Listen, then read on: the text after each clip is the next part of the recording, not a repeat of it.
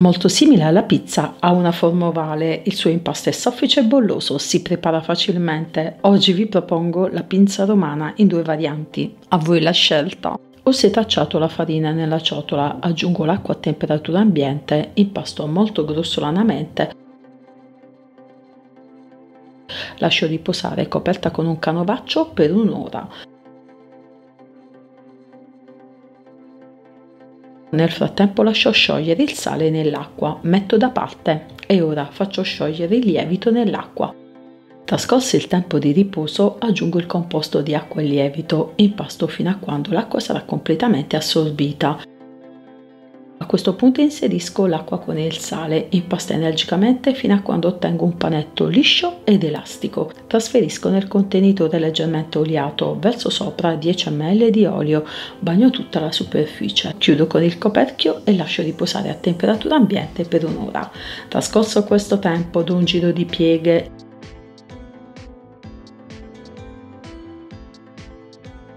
lascio riposare a temperatura ambiente per 30 minuti, do un altro giro di pieghe.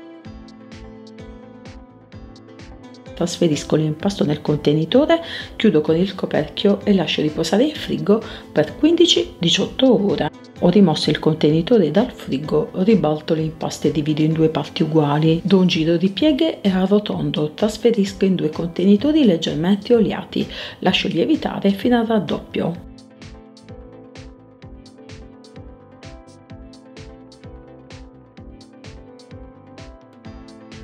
Trascorse il tempo ribalto l'impasto sul piano da lavoro infarinato con la semola. Facendo attenzione chiudo prima il bordo, poi stendo il centro senza sgonfiare. Ottengo mille bolle.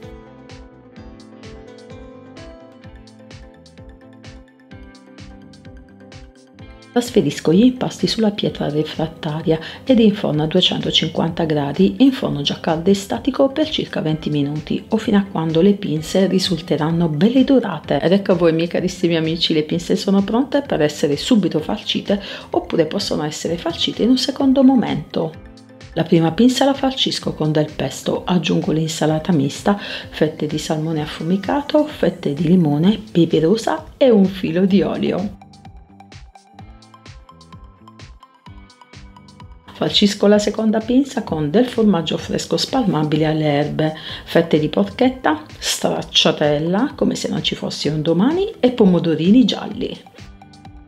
Una via di mezzo fra focaccia e pizza. La pinza romana ha conquistato proprio tutti. Possiamo sbizzarrirci con gli ingredienti che più ci piacciono. Basta un po' di fantasia e il gioco è fatto.